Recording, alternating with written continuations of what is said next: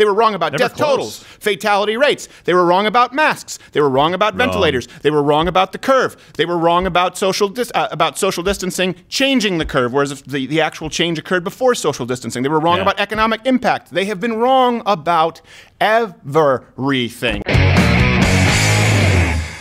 What does it mean, trust experts, and how do you pick which experts? Has this Yeah. pandemic changed your faith in some institutions? Now, that institution could be the WHO, though we would not advise that. You should trust everything the WHO says, including Right. that the coronavirus cannot be transmitted from human to human contact, and it was created by the Marines in Avatar. so, uh, nothing we would say would go against the WHO. But uh, let me let me just be really clear about this. This right now, in the face of overwhelming data, is one of the greatest hoodwinks ever Yes. in the American public. As far as a power grab, as far as the transition from laws or uh, protocols that would be appropriate initially without Right. data, which we all understood, we all got on board with, the American society's good nature has been preyed upon now. And it is at a point I think most Americans are fed up. We see this in Yeah. polls, and it's tough how, depending on how you read which polls, depending which question they ask. Like, do you want to go back to work? Are you concerned about COVID? It's like 70% say they want to go back to work, but then a certain percent say they're still concerned about COVID. just hey, count me among them. Yeah, exactly. You Um, can manipulate the data all you want. But let me just let, us just I want to know where do you guys line up? You can chat with us too uh, with the experts and comment below. Let me be really clear when I say that the experts were wrong. Um, the experts were wrong on death, total deaths, death rates. Infection rates, masks, ventilators, testing, economic impact, what else? Uh, non lockdown states reopening and how they would have yeah. a total surge. They have been wrong about absolutely everything that would be of consequence. And let's be really clear here, too. By their own argument, right? They said, hey, listen, uh, 2 million dead in the United States, which we now know is a flawed model, right? We talked about Neil Ferguson, who violated his own lockdown rules. Mr. Ferguson, you're violating your own law. that. Um, name that movie line. He violated the own lockdown orders. Two million dead is what they said. Two million dead unless you get to work, Mr. President. And President Trump took took them at face value. He said, Yeah. "Okay, all right, two million dead. It's time to get to work. We're at less than five percent of that." Wow. That's insane. We're at less never- than I don't think about five it like percent of that. How is that not a resounding success, an overwhelming victory, unless you, experts, were in fact wrong? You have hmm. to pick one or the other. Was it going to be two million deaths and it was reduced by ninety-five percent? Yeah. Or were you wrong in your predictions? It has. You can't be right the whole way, just like President Yeah. Trump can't be right the whole way. And I also don't understand when people say Donald Trump's side. Well, what side? What side is he really on? He was the guy who went out and advised lockdowns. He was the guy who went out and advised masks. He was the one who supported states. He was the one who got ventilators. He was the one who enlisted the private industry, right? And then he said, "Okay, now it's time to get back to work." You can't say that he's consistently been on one side here. He was on the side of all Americans, which is let's stop, let's pause until we know more. We know more, and unfortunately for the experts, we know that you've been verifiably wrong. Now, it's okay to be wrong. It is okay to be wrong. I think, if nothing else, this kinds of sh- it kind of shows us there's no su- there, there is no such thing as settled science by the very nature of what science hmm. is, especially Yes. when you're talking about science in a pandemic with a virus that mutates and we don't even have a cure, treatment that's approved, or a vaccine yet. There can be no settled science.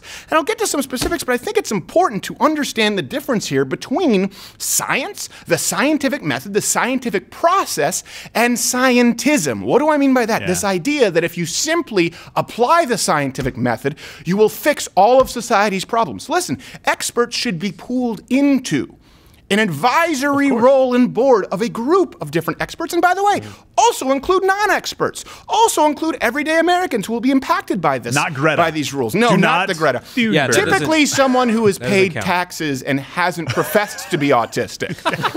How are we not applying the scientific method to calling bullshit on China? Yeah. Like, hold on, well, hold on a second. What we know about the virus, especially if we don't jump on it quickly, and we know how it spreads in urban areas or areas with, with Yeah. elderly populations, you don't see the same patterns that you see everywhere else in China. What do I mean by that? Some of the observable patterns, things that are irrefutable. Now, I don't mean settled science as far as a cure, but settled Right. as far as we know that this threatens the lives of the elderly and the sick far more significantly. Mm-hmm. We know that it spreads in urban more. areas, obviously.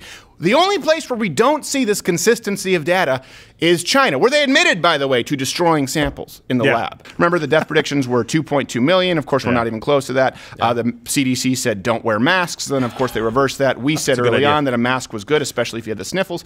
Uh, testings, they said we were, the ter- we were terrible at testings. We're number one in the world at testings. By the way, I love it when they say we have more cases and more deaths than anywhere else in the world. But but the test, we don't have more testing per capita. Use the same measurement. Yeah, exactly. Uh, they also said that lockdowns, as long as a full year for a vaccine, that we would be able to ride this out. Most Americans now are saying that they're not able to ride it out, and of course that resulted in over 36 million jobs and uh, unemployment as high as 40 percent in some states, or as they know it in Detroit Tuesday. So trillions of dollars in stimulus money. I just want to be clear that all of these things Yeah. they were incorrect. They were incorrect. Now, at what point do you cease being an expert? If you stake your claim and it is false, Yeah. not oh, maybe it could have gone either way.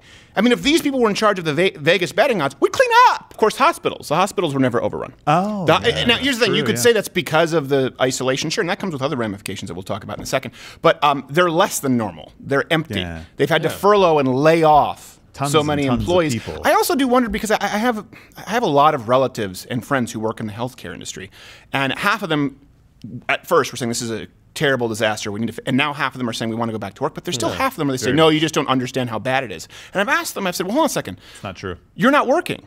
They go, yeah. I said, have you seen any cases? Well, no, we well we had two in our hospital. I said, really? Yeah, what, right. what happened? Well, really, it wasn't. It was they just they were fine. We just had to keep them on watch, it, and that was it. And I Yeah. go, how do you still buy into this? They go, well, we know because we trust the CDC. data. I go, well, hold on a second. What have you observed? Because every single, and this is anecdotal in the sense that these are relatives and friends, but the overwhelming data shows us that hospitals were not overrun. So again, they were wrong about Never death close. totals, fatality rates. They were wrong about masks. They were wrong about ventilators. They were wrong about the curve. They were wrong about social dis- uh, about social distancing changing the curve, whereas if the, the actual change occurred before social distancing. They were wrong Yeah. about economic impact. They have been wrong about everything. There is some data now to suggest that lockdowns actually spread it more because in New York it was over 80% of people who caught it caught it at home.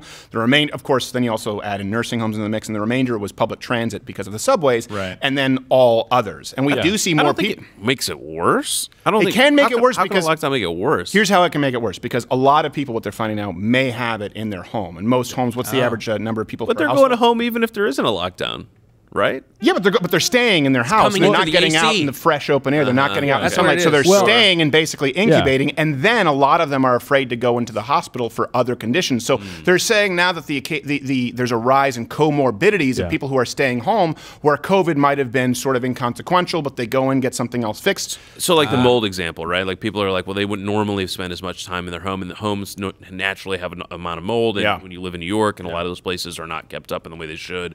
So if you're spending a lot more time at home, you're getting a lot Well, more and it depresses your it depresses Yeah. your immune system. Sure, too, and that, right? that makes sense. Yeah, So and, and- yeah, and UNICEF has actually estimated that the lockdowns will kill more children than Yeah, the, of than course. the virus will because in most countries they're not leaving to go they can't leave without documentation they can't Right. leave their houses without documentation Yeah. Yeah. they can't get treated for pneumonia they can't Right. get, they can't go give childbirth elsewhere they have to stay in their homes And it's pretty tough to explain to those entitled fascists in Mozambique about supply side economics. So instead, they just die. Thanks, leftists. Hey, if you enjoyed this video, subscribe or hit the notification bell because that, that lets your mobile device. Do people still say cell? I don't think they sell, but no one says LTE. We used to say cellular, but we don't say LTE. But then what was it? There was there was roaming. Do we still have roaming? I think we still have roaming. If you're watching this on mobile, um, I've wasted a ton of your, and you're likely driving. You're probably dead.